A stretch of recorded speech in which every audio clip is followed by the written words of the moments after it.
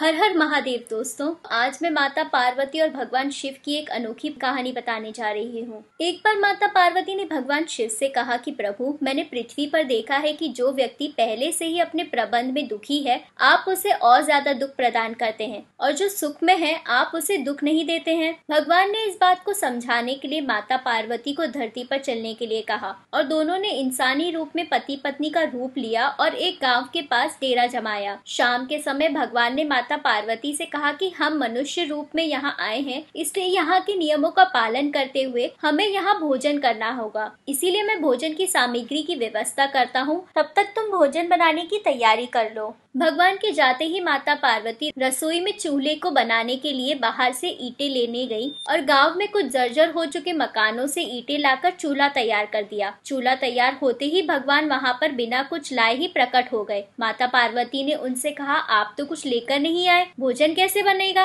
भगवान बोले पार्वती अब तुम्हें इसकी ज़रूरत नहीं पड़ेगी। भगवान ने माता पार्वती से पूछा कि तुम चूल्हा बनाने के लिए इन ईटों को कहाँ से लेकर आई हो? तो माता पार्वती ने कहा, प्रभु, इस गाँव में बहुत से ऐसे घर भी हैं, जिनका रख रखाव सही ढंग से नहीं हो रहा है। उनकी जर्जर हो चुकी दीवारों में से ही ईटे निकाल कर ले आई। भगवान ने फिर कहा, जो घर पहले से खराब थे, तुमने उन्हें और खराब कर दिया। तुम ईटे उन सही घरों की दीवारों से भी तो ला सकती थी। माता पार्वती बोली, प्रभु, उन घरों में रहने वाले लोगों ने उनका रख रखाव बहुत ही सही तरीके से किया है और वो घर सुंदर भी लग रहे हैं। ऐसे में उनकी सुंदरता को बिगाड़ना उचित नहीं होता। भगवान बोले, पार्वती, यही तुम्हारे द्वारा पूछे हुए प्रश्न का उत्तर है। जिन लोगों ने अपने घर का रख रखाव अच्छी तरीके से किया है, यानी कि सही कर्मों से अपने जीवन को सुंदर बना रखा है, उन लोगों को दुख कैसे हो सकता है? मनुष्य के जीवन में जो भी सुखी है, वो अपने कर्मों के द्वारा सुखी है। जो भी दुखी है, वो अपने कर्मों के द्वारा दुखी है। इसीलिए हर एक मनुष्य को अपने जीवन में ऐसे ही कर्म करने चाहिए जिससे इतनी मज़बूत व खूबसूरत इमारत खड़ी हो जाए